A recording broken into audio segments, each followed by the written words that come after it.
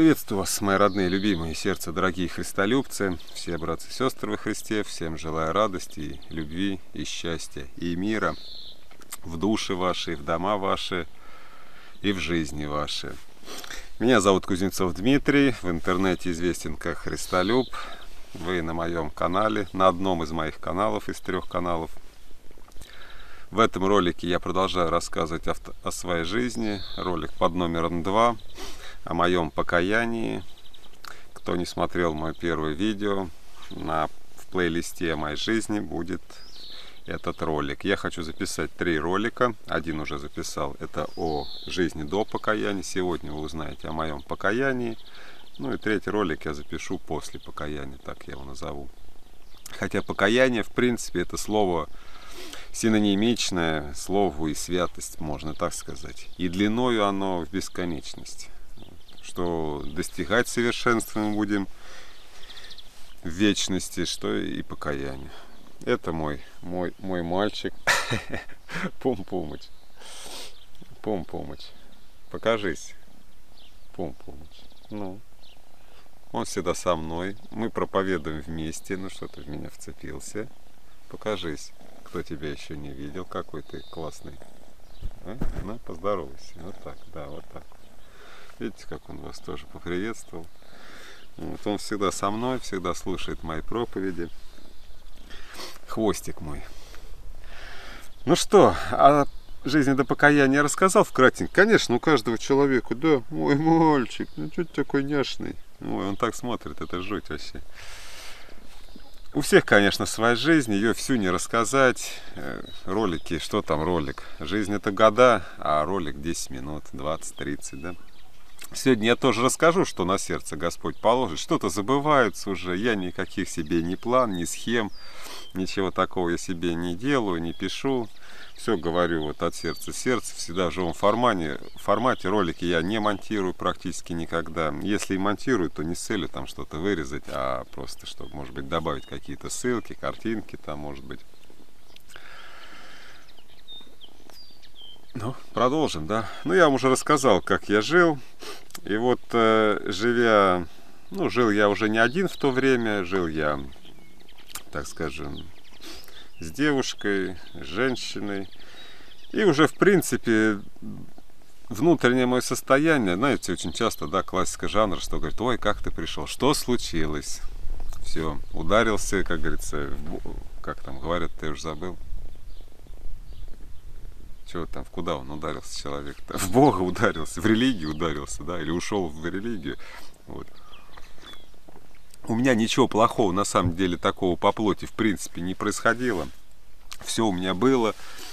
Были деньги, какие мне, в принципе, нужны были. Ну, конечно, в миру ты желаешь всегда всего много и побольше.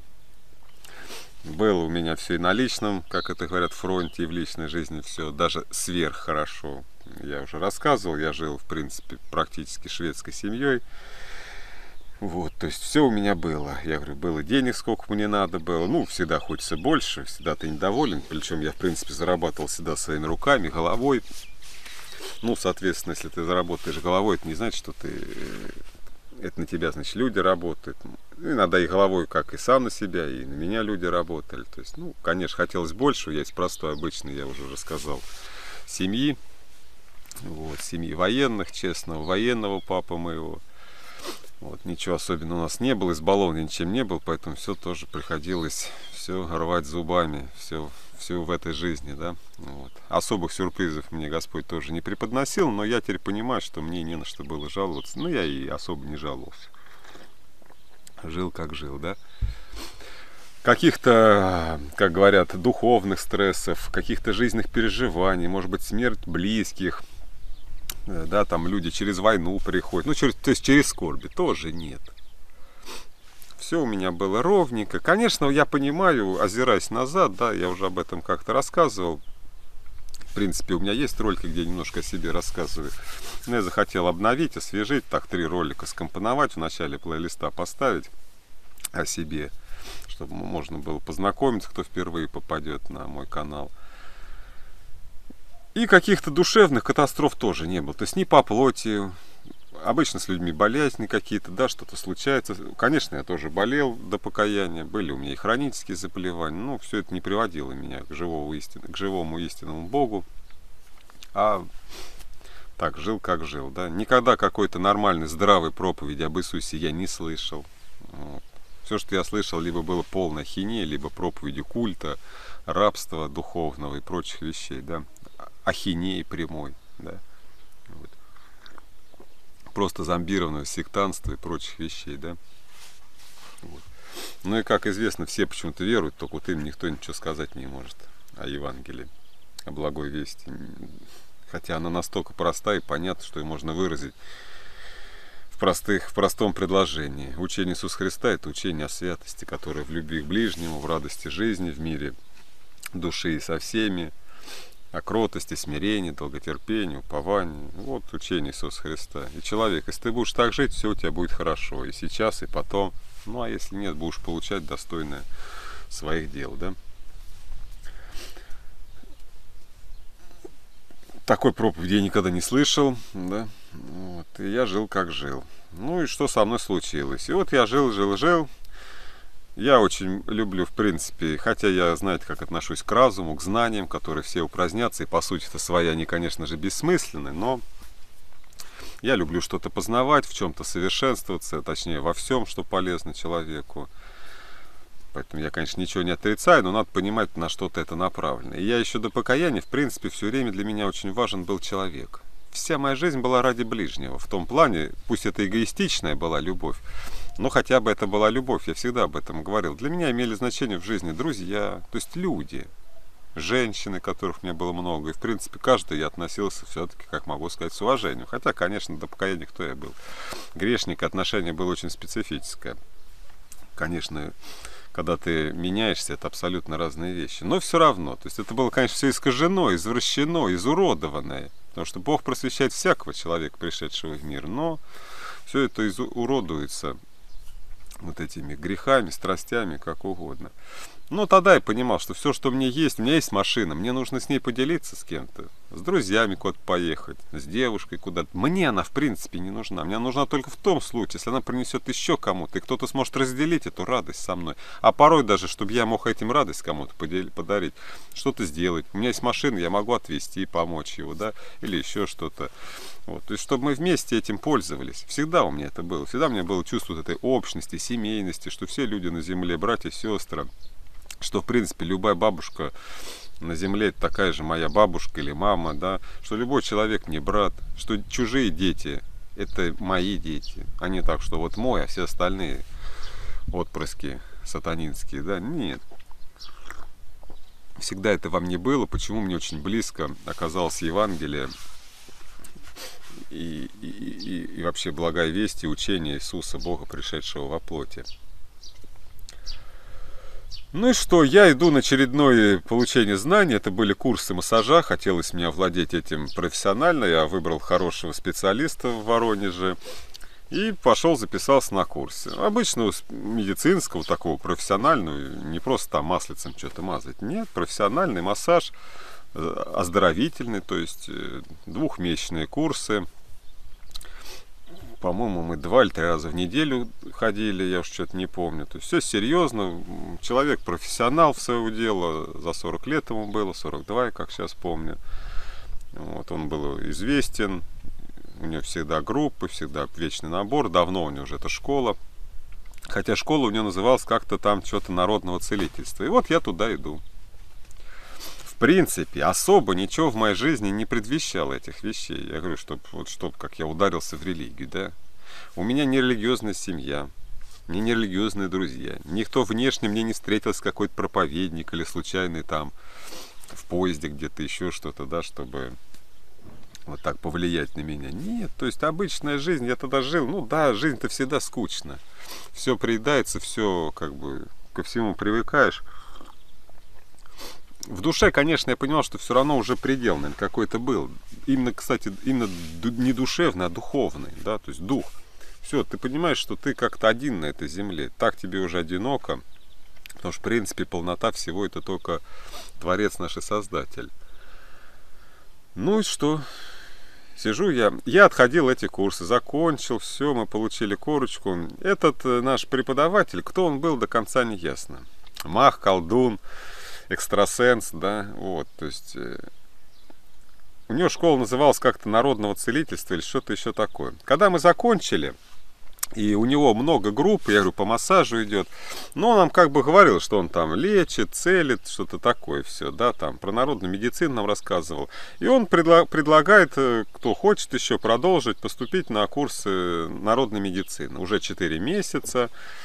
Э, вот мы будем этим заниматься. Меня это всегда тоже интересовало, хоть я там и пил, и курил отчасти, да здоровое питание, э, народная медицина меня всегда, какие-то народные средства, конечно, я тоже не признавал никогда, даже до покаяния особо таблетки все там, казался, вот, вот, все с природы. Я очень люблю природу, Божье творение, да, растительный, животный мир, я говорю, высший вот мир и человеков, ну и, наверное, ангелы все прекрасные. И он нам предлагает. Я иду. Эти курсы, это уже конец зимы, э, не, ой, конец зимы, конец года, Новый год, у меня 3 числа день рождения, 3 января. Он приглашает нас на эти курсы. Он уезжает в Москву. А, нет. И он, э, я сейчас вспоминаю, вы не обращайте внимания, это было 8, почти 8, 8, ну, 7 лет назад уже, восьмой год пошел, получается. Поэтому то, что я буду задумываться, это нормально, да? Потому что уже все-таки все это давно было. Э, он их приглашает, назначает, и, по-моему, это вот, я говорю, хоть было Новый год, он сам тоже не пьющий был, ну, тоже как я теперь, хотя я там не был запойным алкоголиком, как все по праздникам, вел обычную мирскую жизнь. Вот, ну, хотя есть люди и в миру, ты там не выпивают. Вот, но я мог позволить себе нахрюкаться. Я не был злобным, меня не сносило крышу, но мог тоже, что делать нечего. Сидишь, это вливаешь в себя, зачем непонятно, от безделия. И вот, э, по-моему, он приглашает нас, я говорю, или вообще первого числа, или второго. Ну, люди пошли вот такие вот, в основном, видимо, тоже как раз, я говорю, кого и Новый год это не трогал. Да и кто знает, первое это уже число. Второго, сто процентов это было. И следующее занятие третье. Третье у меня день рождения. Почему говорю, удивительно, что у меня все эти события происходили на мой плотское день рождения. И я с утра еду к нему, ну, от, отмечать-то там вечером. И, по-моему, я в тот год отмечал дома, где вот я жил. Э, по-моему, да. Но это не важно. А с утра мы едем на эти... Он делает их утром, потому что праздничные дни. И мы с утра едем к 10 часам, по-моему, вот на эти курсы. Ну, мы там, кто едет, и я в частности, да. Он нам оба дня, вместо того, чтобы, казалось бы, рассказывать о какой-то народной медицине, он нам начинает рассказывать о чем? О храме православном. Сам он себя не позиционирует ни с каким православием. Даже с христианством он ничего нам об Иисусе не говорил. Но он начинает рассказывать нам зачем-то о храме, о свечках, на православном совсем не похож, я даже сейчас понимаю. И он, в принципе, нам ничего не говорит. Но зачем-то он рассказывает о храме. У него сзади с самого начала, в принципе, был... Ну, мы как-то этому, я, по-моему, даже не придавал значения. Ну, его стол впереди. То есть, ну, класс был устроен, есть и парты. И когда их раздвигаешь, там можно вот так, как я говорю, курсы массажа его основная деятельность. И эти курсы там вот эти э, массажные столы, их они там, по-моему, сдвигались, я уж не помню, как это было, честно, ну, как-то вот так вот. Я помню, что мы сидели опять парты ставили, или был разделен аудитория, то есть чуть-чуть было вот этих парт, где мы сидели, что-то писали. Мы когда и теорию слушали, тоже сидели, а потом практиковали. Вот. И вот то же самое с этим. Мы сидим, у нас тетрадочки, естественно, мы завели народная медицина, да, здоровье, все вот это. И он нам зачем-то начинает, мы рисуем храм, как сейчас помню, тогда я ничего не понимал, я в храме там был, может, два раза на каких-нибудь экскурсиях, когда ездили, что в школе там куда-нибудь, в Москву там, что потом там где-нибудь, я вот в Абхазии, когда ездил, отдыхал, мы в какой-то вот этот монастырь-то заходили, кто знает там, я там ездил, когда отдыхать, ну и то я не заходил, так рядом стоял. Вот. Он нам рисует. Теперь я, конечно, знаю, там он рисует вот эту панихиду слева, она обязательно храмовая часть, притвор вот этот, алтарная часть, да. Тогда я, конечно, ничего не понимал, так рисуешь, но я строитель, мне это понятно. Он начинает это все рассказывать нам. Зачем, я не знаю. Сзади у него был типа такого, как это называется, иконостасик, да, там какие-то иконы вроде бы были, я сейчас точно не помню. Был у него подсвечник такой, свечки он ставил, что-то там говорил. Вот, не знаю, что он там говорил, молился. Он это вначале делал он этого не делал, когда мы ходили на массаж, но он это стал делать, когда мы вот э, стали ходить на курсы народной медицины.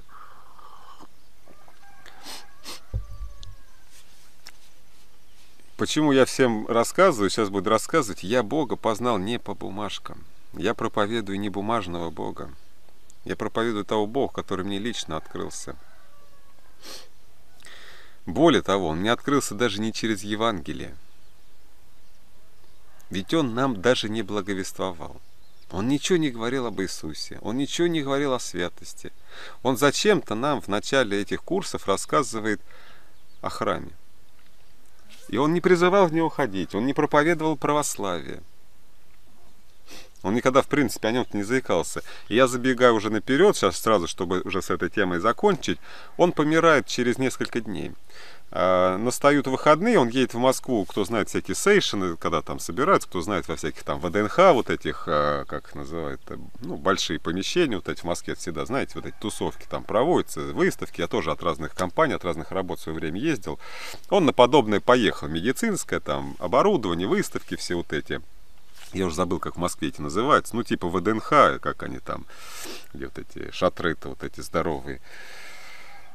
И все, он оттуда возвращается, но уже, можно сказать, в деревянном ящике. По-моему, у него в поезде, у него тромб, как это называется, инфаркт, инсульт. Я в медицине не силен, то есть у него тромб, там что-то отваливается, да, вот это. И он, или он здесь, э, уже в Воронеже, или, по-моему, это вообще в поезде, или в Москве случилось. Потому что мы приходим на следующее занятие, на третье, там числа, соответственно, 7-8 где-то там под Рождество по православному вот этому, да. И узнаем, что или нам позвонила его дочь, мы знакомы уже были с его дочерью, сыном, они ему там помогали иногда. И мы узнаем, что вот такая с ним судьба. Ему было 42 года, ну, выглядел он повзрослее, мне кажется, ну, вот так вот. Конечно, не знаю, чем бы это все закончилось, эти курсы. Это... Потом он нам обещал после четырехмесячных курсов народной медицины курс, годовой курс экстрасенсорики. Ну, многим людям это интересно. Я, в принципе, в то время, ну, смотрел я этих, как там, битвы экстрасенсов, конечно, больше так, э, с таким специфическим отношением. В принципе, никогда в жизни я ни во что не вляпывался, ни в какие секты, ни вот в это, я никак не соприкасался с духовным миром, тем более с черным миром, да, с, мих, с миром злобы. А, ну, мне хотелось. Мне хотелось всю жизнь лечить людей, там, да, я думал, ой, тогда я еще думал, господи, это бы дар. Мне так нравилось делать людям добро, в принципе. Я хотел обладать какими-то дарами, да, сверхъестественными. Но всегда мне хотелось это на благо делать. Я, конечно, не знаю, понятно, да покаяние, скорее всего, ты куда-нибудь свалился бы. Стал бы за это там деньги брать хорошенькие, еще что-то, власть, тщеславие, действительно, да. Поэтому Бог не дает. Но меня к этому, конечно же, тянуло, и как мы видим, благодаря христианству, это, в принципе, нормально, да. Бог дает дары, чтобы ты этими дарами делал добрые дела к людям. Ну и я не сомневаюсь, что я пошел бы на эти курсы. Чем бы, говорю, все это закончилось, я не знаю. Но вот так вот Господь промышляет о нашей жизни. Я не говорю, что это хорошо, что он там помер. Я понятия говорю, не имею. Я вам рассказываю факты своей жизни, да. Уж какие там выводы, анализ делать, это уже дело третье. Э, вот мы сидим, на это занятие. Это мой плотский день рождения, утро. Родился я рано утром, насколько мама мне, по-моему, рассказывала. Это 10 часов где-то. Меня сияет свет. Свет этот, как говорят, нетварный там, я не знаю. В принципе, 10 утра, 3 января, на дворе снег, солнце, зимой обычно не бывает солнца, и, по-моему, его в тот день не было. Под помещения, в которых мы находились, это помещение стадиона нашего Воронежского центрального. Это полуподвальные помещения такие, там есть вверху окна небольшие, знаете, такие. Вот, но в принципе это полуподвальное помещение. Но окна были э, такие на улицу, знаете, как они там-то на улице внизу, рядом с асфальтом. Но э, в помещении, по-моему, были, вот. ну, свет, вот, вот сейчас свет, я же знаю, что это свет. Я знаю, когда темнеть начинает. Ты это ощущаешь даже, как назвать-то, тактильно, да, в принципе, кожей, хотя, по идее, это вроде бы э, сфера зрения, да. Я чувствую свет или вижу, как хотите. Я, я почувствовал тепло. Ну, грубо говоря, не знаю, сравнить с первой стопкой водки или как. Или какие-то вот горячие уколы мне в свое время делали там, да. Я почувствовал, как по мне, мне, мне начало теплеть. Он там что-то говорит, говорит. Меня сияла радость. Я не видел себя со стороны, но я думаю, что я стал улыбиться, это сто процентов. Когда как будто тебе что-то сказали, веселое, радостное, приятное. В принципе, я все время улыблюсь, да? Ну или часто. Вот. Ну, тогда, видимо, особо. Я чувствую чье-то присутствие. Кто-то меня касается, кто-то меня обнимает. Кто-то меня очень сильно любит. Я понимаю, что очень светло в помещении. Я не могу сейчас точно проанализировать внутренние ощущения с внешними. Я уж этого не помню, это было 8 лет назад. Мне кажется, я почему я помню об этих окнах. Я, мне кажется, я смотрел, да что вот же окно. Ну, ты вроде видишь, что оттуда обычный свет, и ты, в принципе, видишь, что все сидят вокруг точно так же. Их-то ничего не удивляет, у них нет э, каких-то взглядов. Они сидят и сидят. А у тебя что-то происходит. Я понимаю, что свет ярче, чем он из окна, но я его сам-то особо не вижу. Ты его ощущаешь какими-то внутренними глазами. Кто это переживал, подобные вещи, тот знает, мне им не надо рассказывать. Вот я когда читаю про Павла, я понимаю приблизительно, о чем речь идет, когда его осиял свет с неба, кто-то слышал, кто-то видел, кто-то это понимал, кто-то не понимал. Вот я это переживаю. Я не могу опять сказать, что это вну- внешний голос, его бы другие слышали, да? Но внутренне это четкий голос Бога, это четкое повеление. Я не знал, кто Он. Я никогда ничего не слышал об Иисусе. Он мне не представился, он не сказал, я сущий или я Иисус. Но я четко понимаю, что это были слова и повеления купить Библию. Ничего в этот день не могло этому вообще даже близко предвещать. Этот наш преподаватель ничего в этот день об этом вообще не говорил. Ни о Библии, ни о Писании. Зачем ты нам стал об этих храмах нести? И на этом, в общем-то, закончилось все. Я уж не помню, о чем он там все время говорил. Я уже половину не слышал, что он говорит. Бог мне говорит, купи Библию. Не я сам себе это выдумываю. У меня в, в голове этой мысли близко не было. В моей жизни не было ничего религиозного. Ни накануне, ни на медне не предстояло мне ни беседа ни с какими религиозными людьми. Я говорю, мне не было их ни в окружении, ничего. Я пришел на курсы народной медицины. Ну да, он там э, второй день нам рассказывает об этом зачем-то там о храме, о свечках, что-то еще. Первый день что-то рассказал, второй мы помним, мы рисовали это в тетрадке, я просто как все это помню, отлично но повеление купить Библию. Я очень плохо относился к религии на самом деле. Я понимал, что это мракобесие, все, Библия там. А мне четкое повеление, я ему не противлюсь, я не могу ему противиться. Я понимаю, что это доброе пожелание купить Библию, доброе. Тот, кто мне это говорит, желает мне блага, счастья.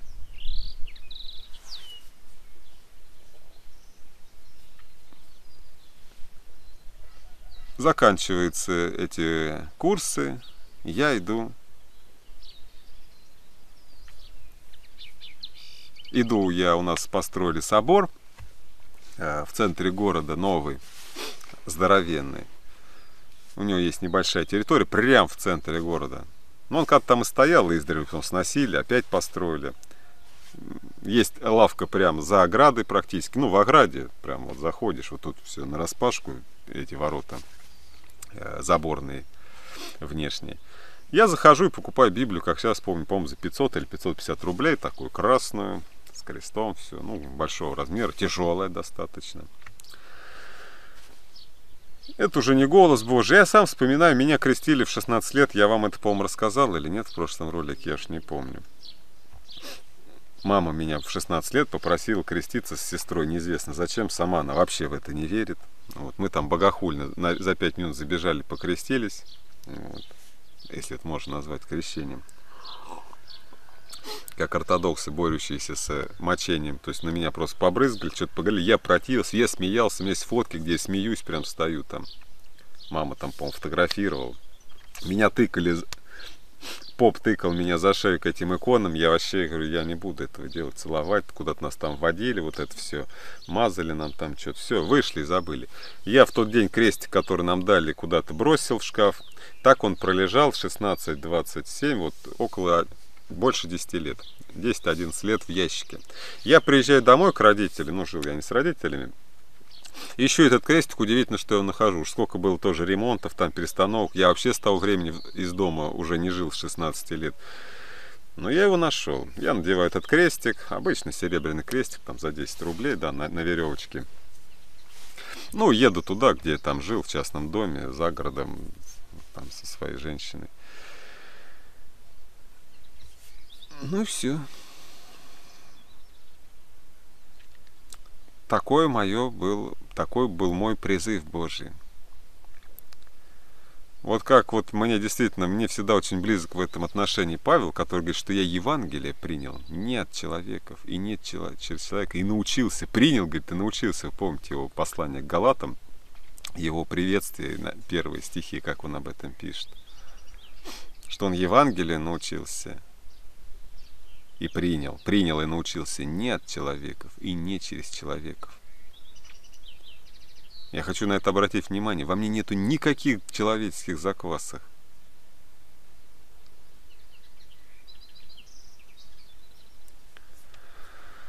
Ну и что? Приезжаю я домой и начинаю читать Библию.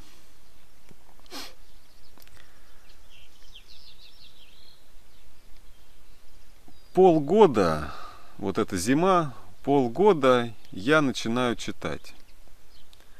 Я ничего не понимаю. Для меня слова Библия, Новый Завет, Ветхий Завет, Евангелие ничего еще не значит. Я их не знаю, я их не понимаю.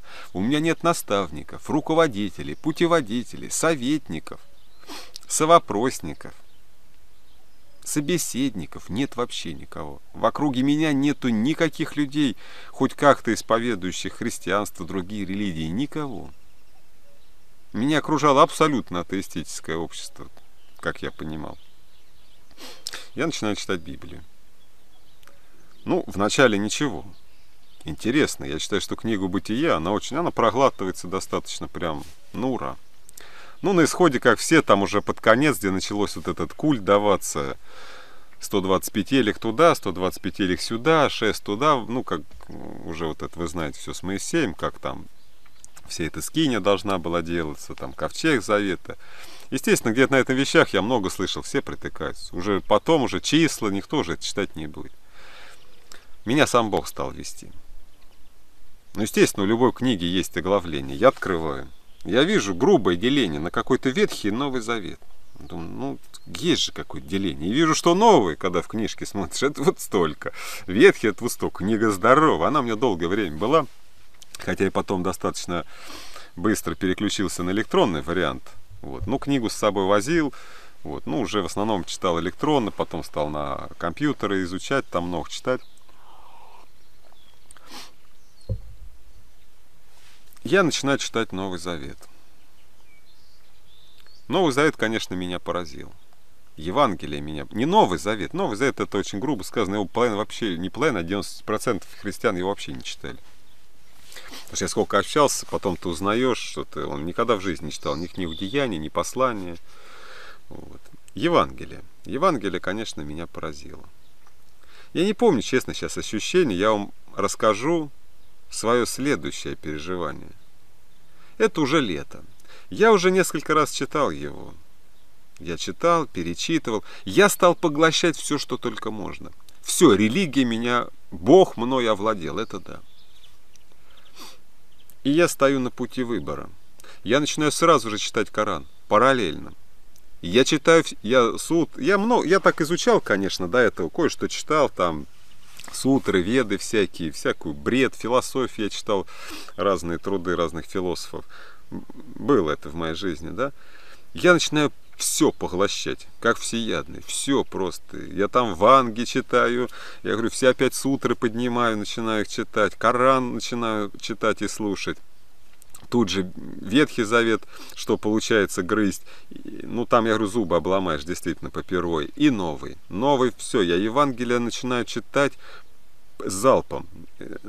Евангелие, Новый Завет. Я помню, что я все стал поглощать просто. Полгода я начинаю просто жадно, без разбору все, все поедать. Весь хлеб, какой есть на земле. Тухлый, грязный, чистый, с неба. Все, все в перемешку. Я начинаю сравнивать. Почему я говорю, я не простой христианин, я не просто верую, потому что я русский, я православный, нет. И не потому, что я боюсь отпасть, я ничего больше познавать не буду. Я, христ... я знаю все религии, я изучил ислам, я, ну, насколько это возможно, потому что то, что в тебе не лезет, ты не будешь поглощать. Кто-то говорит, ну это же поверхностное изучение. Да понятно, поверхностное, потому что я жить поэтому не хочу, что я прочитал. Теорию я изучил, жить я не хочу поэтому. Как ты будешь жить, если ты теорию не знаешь? Ты узнай теорию, а потом реши, будешь ты жить. И я все, что потреблял, я не хотел поэтому жить. Никто из этих людей не явился для меня кумиром. Я никогда никого не боялся, я никогда никому не поклонялся, я никогда ни перед кем не присмыкался.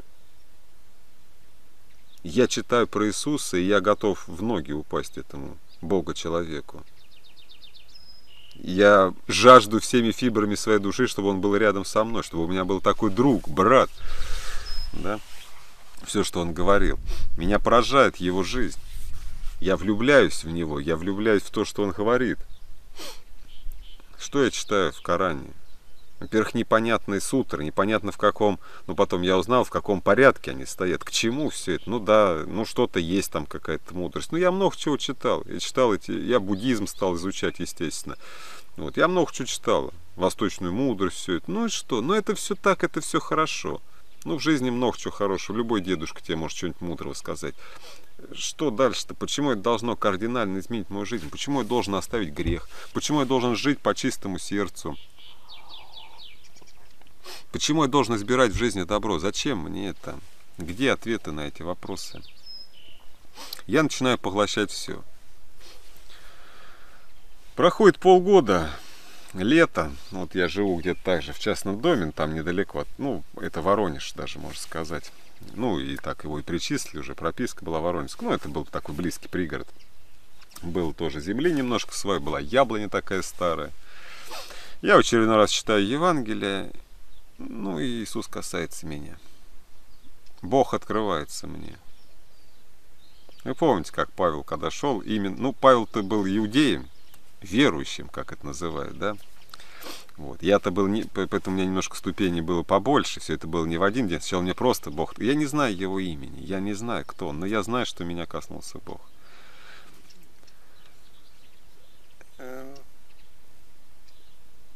И я каюсь. Я дочитываю Евангелие, как всегда, все это. Я Евангелие читал сутками целиком. Я не читал по стихам. Я просто читал залп, одно за другим. Одно Евангелие, оно читается два часа в салух, глазами за полтора часа Марка вообще пролетает, только дай. Я читал, читал, читал, читал. Я не могу, я понимаю, что мне это нужно, что мне это нравится, что я хочу так жить. Что я люблю Иисуса.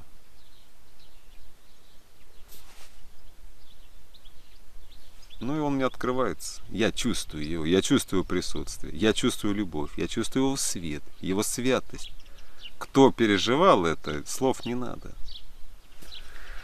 Ну и все, ты падаешь, рыдаешь, я там под это яблоне, да, так скажем, исповедовался, все, ты, ты даешь обещание жить святым.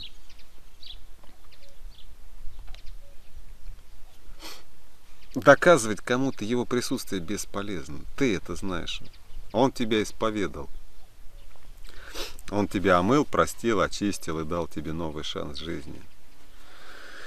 Ну и все, в тот день приезжает моя возлюбленная с работы. Я ее вечером сажаю на диванчик.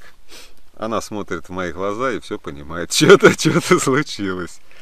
Ну и все, я беру ее за ручки и говорю, дорогая, наша жизнь с этого дня меняется. Она зарыдала. Ну, естественно, она видела полгода моей жизни, куда меня тянет, чем я занимаюсь, ну, мы живем. И я очень открытый человек, естественно. Уж тем более, это моя женщина, мы живем в одной на одной кровати, в одной комнате, на одной кухне. Вот у нас даже я дом частный такой там отремонтировал. Там у нас студия была, там дверей даже не было, все было открыто. Ну, за... Не делил я там чисто так, кто знает, там поделил части эти зальные, кухонные. А так была, получается, такая большая двухкомнатная квартира. Без всяких дверей. Ну и все, я сказал, что наша жизнь поменяется. Ее я в тот день попросил прочитать Евангелие вообще. Не, не в тот день прочитать, а попросил ее тоже читать Евангелие, начать его читать, прочитать. Потому что, я говорю, моя жизнь меняется резко. Я, мы будем жить по-другому. В тот день я бросаю все. Пить, курить. Ну, я говорю, запойным я не был, но все равно. В то время Иисус, с того дня, вернее, Иисус больше никогда не отходит от меня. Я всегда его чувствую рядом с собой. Я больше не мог курить. Ну как я буду, вот не стыдно. Я его чувствую, он всегда рядом с Как я буду грешить? Как я буду вот так? Я не могу этого делать. Я не могу себе позволить, да, так вот напиваться. Ну, я могу выпить в компании, наверное, могу. Я этого уже не делаю, и не знаю. И время как-то... Нет, ну, я, меня приглашали, даже не, я за эти года-то встречался к некоторым, в гости приезжал. Ну, я говорю, ну, максимум там 10 грамм. То есть даже, даже я даже не могу почувствовать опьянение, потому что я там пью, может, 10, 20, 30 грамм. Вот. Мне просто, мне не нравилось никогда, да, вот. Ну, я бросаю все. Ну, я перестаю есть мясо, вот. Я всегда любил животных, да, я прочитал, я прочитал в книге «Бытия», что Бог не разрешал есть. Я всегда, мне противно было убийство животных. Вот. А тут я еще нахожу для себя откровение от Бога, что Бог не повелевал этого делать. Да. Что это мы сами по собственной прихоти готовы все в себя пихать. Для нас вообще нет ничего святого для людей. Мы все готовы ради себя. Вот. Я перестаю ругаться матом. Но это было не просто где-то еще год, потому что настолько эта привычка очень легкая, потому что это вылетает на раз, два, три, когда ты уже там через слово. Я уж как сапожник там матерился, как говорят. Вот. Ну, вместе я, я учился, это у меня был хороший опыт такой, то есть ты сам себя воздерживаешь, ограничиваешь, каешься, и все это меняется. Все это дело привычки на самом деле, все это можно бросить я начинаю задумываться над своей личной жизнью, да, сексуальной, как это называть, как это правильно выразиться, я уж давно не, не, употребляю особо этих слов.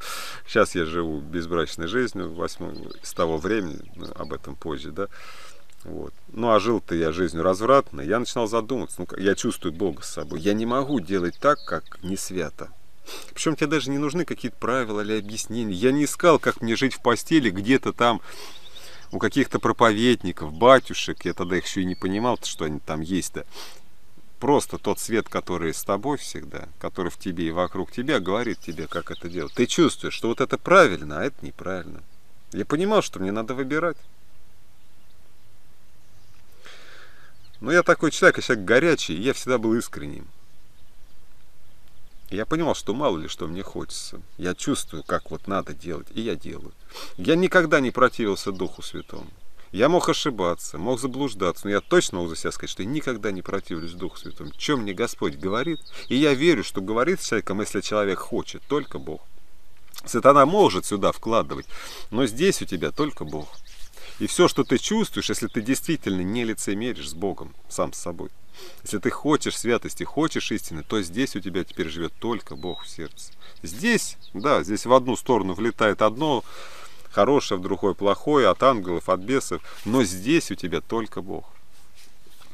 Если ты будешь искренен, честен сам с собой, а значит с Богом, потому что Он тебя здесь, и будешь только поступать, как повелевает Он тебе, это и есть твоя жизнь, это и есть твоя святость, это и есть твой путь истины.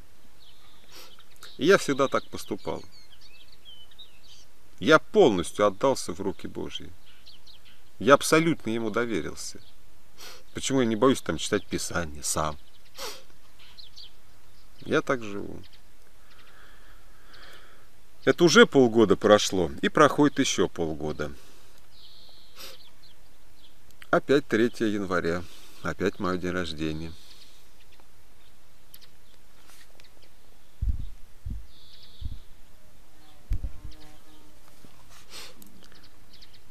Проходит полгода, моя женщина там новую работу получает, уезжает в командировку куда-то там в Москву на несколько дней или даже на неделю, по-моему, ночует в гостинице, естественно.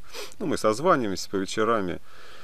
Я ее спрашиваю, это буквально на медне уже, где-то за пару недель до Нового года. Ну, а ты как там Евангелие? -то? Прочитал полгода я своей женщине, Наташе ее звали, Наталья.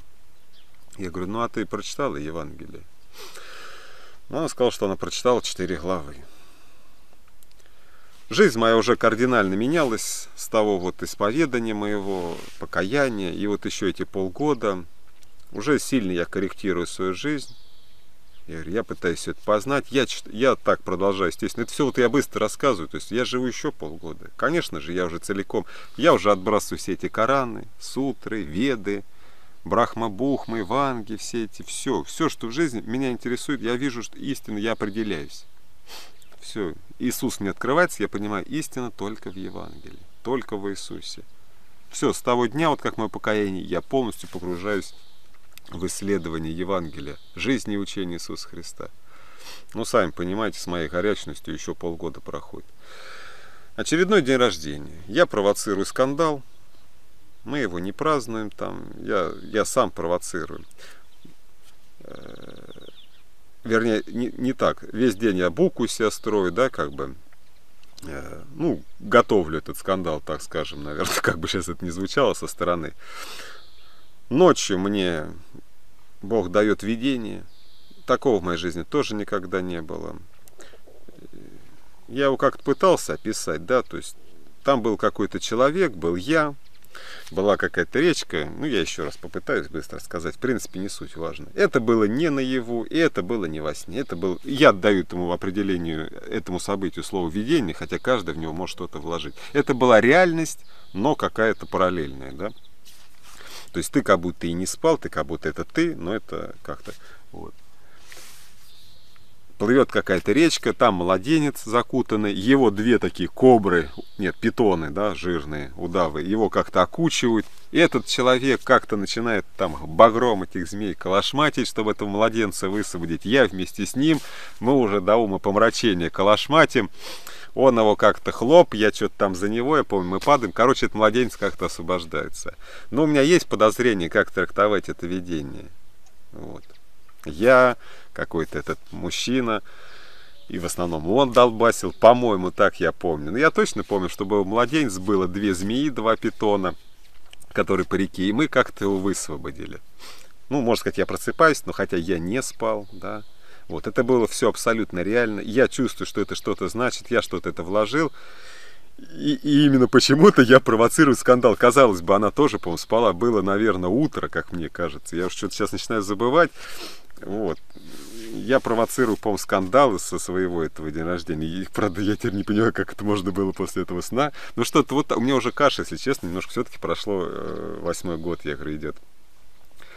Ну и все. Мы ругаемся, я ухожу в машину. Ну, вещи я все оставляю, все, что там было нажито. Я беру там только свой ноутбук, уже, правда, древний, какие-то вещи свои личные, да и все. Вот. Все, я ухожу. Я все оставляю. Ну, в принципе, мы не были не расписаны, у нас не было детей, у него был ребенок от первого брака. Был, есть, наверное, девочка. Уже забыл, как зовут. Саша, не Саша. Что-то подзабыл уже тоже. Ну ладно. Вот. Я уезжаю. Я оставляю все. Я приезжаю в родительский дом.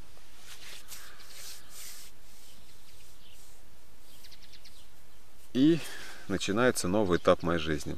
На этом мы сегодня закончим. Достаточно подробно я рассказал. Как я называю этот период? Вы помните, нам иногда кажется, что, конечно же, вот оно то семечко, то слово, которое я услышал, причем не от Бога. И так как сейчас есть бумажные варианты, Бог не стал мне там с небес трактовать Библию, да, Он мне просто повелел купить ее. Это вы помните всегда образ Иоанна Крестителя, который показывает на Иисуса. Вы помните, как толпа стояла. И то, это символ водного покаяние, да, крещение. Вот тот мой день, конечно же, это было. Мне не надо никаких, как эти там насуются ортодоксы с этим водным там погружением, с головой, вниз головой, налево, направо тебя макнуть, как тебе там на спину положить. Такой бред. Я нигде ни в чем не крещенный, ни в какой воде. Бог меня тогда омыл мои грехи. Вот то, то, тот летний день под яблоком, в тот 3 января, уже год сейчас не помню, какой год получается, ну, в общем, 8 лет, 7 лет назад, ну, 8 я услышал слово живого Бога с небес, да, купил эту Библию, вот у меня это слово есть настоящее. Летом я каюсь, это мое водное крещение, омовение моих грехов и, и, и дар мне новой жизни, да, новый шанс, шанс, новый, новый раз прожить свою жизнь. И вот мы все помним прекрасно, вот это потом вторые полгода, как я их образ по Евангелию вам даю. Вы помните, что благодаря Евангелию от Анна, благодаря синоптикам, нам кажется, что Иисус сразу после своего крещения идет в пустыню. Но это не так. Благодаря Евангелию от Анна, вы вспомните, он выходит креститься – и уходит. Иоанн свидетельствует о нем. И нам показан второй день, Иисус опять там ходит, опять гуляет там или что он там делает. И мы видим, как Иоанн Креститель второй раз показывает. И уже Иоанн с Иаковом идут наконец-то за Иисусом. И он говорит, что хотите от меня? Они говорят, учитель, где ты живешь? Он говорит, пойдите и увидите. Вот это второй этап моей жизни, вторые полгода. Первые полгода это вот это, это я так скажем, проповедь Иоанна Крестителя слушаю, меня просто тянет к этой святости. Я понимаю, что я грешник. Я еще ничего не бросаю. Я только полгода вот иду только к покаянию, да. Иду к Иоанну Крестителю, слышу, где он там кричит, покайтесь и сотворите достойные дела покаяния. Приблизил Царство Небесное. Вот, это первый этап, вот эти первые полгода. Вторые полгода, это когда уже, уже Иоанн Креститель мне говорит, вот тебе за кем надо идти, ты покаялся, вот тебе за кем. И я пришел к нему, отдал ему свое сердце под этой яблони, да, свою жизнь. И вот эти полгода, когда я изучаю но Евангелие, это я сижу, помните как, и они пробыли у него всю, всю, весь тот день до вечера или там всю ночь. Ты должен увидеть, где живет Иисус, кто Он. Вот. Конечно же, с этой моей женщиной, девушкой, она, ну, ей тоже было, она была, по-моему, на год меня младше, мы практически ровесники были. Ну, тогда нам было, получается, по 27, где-то по 28, так. Как бы она никаких шагов не делала. Сейчас ей не в осуждении, не в обвинении. Мы, конечно, я и тогда сказал, что мы вот так пойдем. Если мы не пойдем вместе за руки, мы пойдем в разные стороны. То есть все. А меня, конечно, я вот сидел с Иисусом до вечера. Где ты, где ты? Это образ каждого человека. Ты начинаешь его исследовать. Где ты живешь, Рави, учитель? И я смотрел, где он живет, кто он есть, как он живет. Что он говорит, я слушал его. И вот этот мой уход, конечно, вот это уход в пустыню. Все, я полностью отрекаюсь от всего. Как Господь потом уходит, и это образ каждого человека. Ты идешь в пустыню. Все, я потом уезжаю с одной вообще сумкой. Сейчас я это потом дальше расскажу. Все эти машины я раздаю, там эту ей оставляю, одну там другу отдаю. То есть все, я от всего отрекаюсь вообще. Я выписываюсь из квартиры, там все, от имущества, от всего, от наследства. То есть мне ничего нет, я уезжаю вообще от родителей потом просто с одной походной сумкой. Несколько лет я пребываю в пустыне. Ну, об этом в следующем ролике. Кому понравилось мое свидетельство, ставьте лайк. Можете поделиться с кем-то этим видео. Подписывайтесь на мои каналы, кому интересно, полезно, назидательно мое служение, то, что я говорю. Ну и до встречи в следующем ролике. Буду рассказывать дальше о своей пустыне. Пока-пока.